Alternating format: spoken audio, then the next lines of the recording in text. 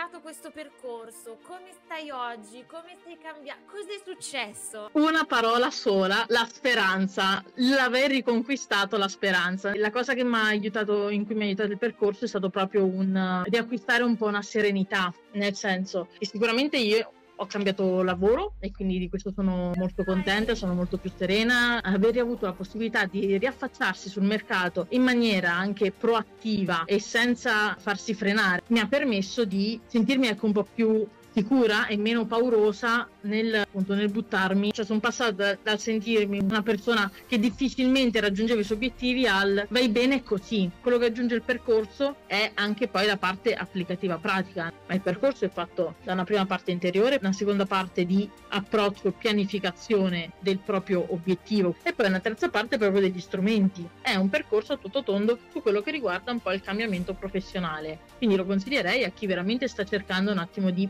buttarsi o quantomeno di ritrovare quella fiducia persa nel tempo.